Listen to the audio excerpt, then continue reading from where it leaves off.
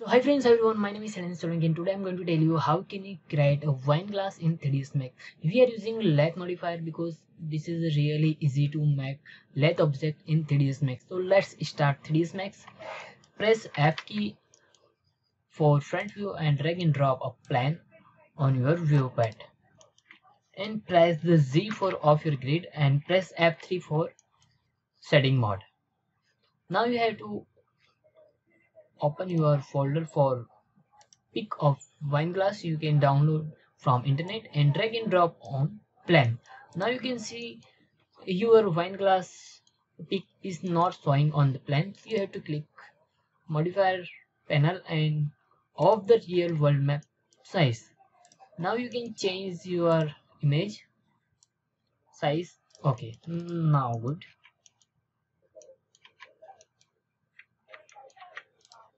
now we have to create uh, lines.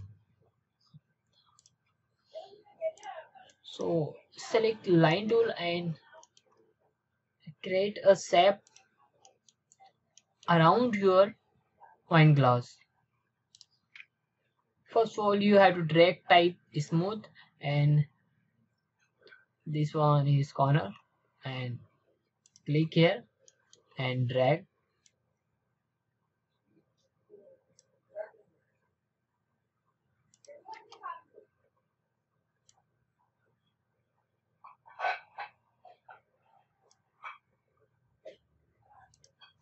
if we will fix this vertex after the create whole shape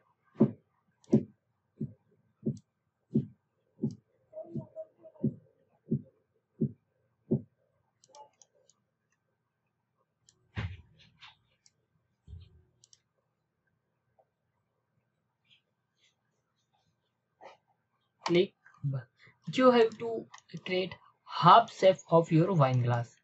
Now we will going to fix all vertex. Right click and bezier corner. And click move tool and set your set.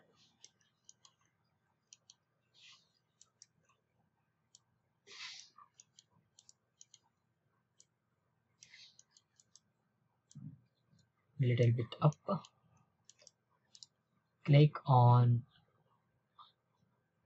bezier corner because you want to change only this. Now you have to click x and y axis both at a time and now you can set this one. And you can change bezier and okay looks good. Click here and bezier and this one now looks good. Okay after the create your sap click here and okay. In now you have to create thickness of your wine glass. So you have to select spline and click on outer line button outline button and drag and drop according thickness of your wine glass. Now you can see thickness is create on your wine glass. Okay now you have to select segment and delete this segment and delete this segment and click on spline button because we want to delete whole this spline. Okay. And now click on this vertex and snap tool on and align your vertex from this vertex. Now you can see the both vertex on center of your glass. Now you have to change of snap and this one this is the inner part of your wine glass.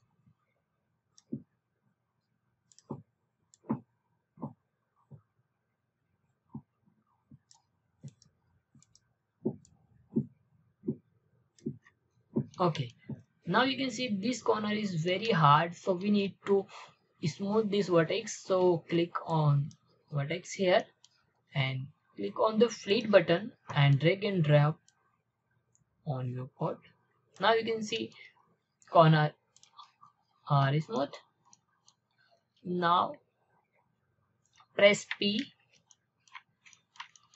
select your plan and drag back side. Okay. Select your spline. Now you have to click on modify tools and modify list and type lathe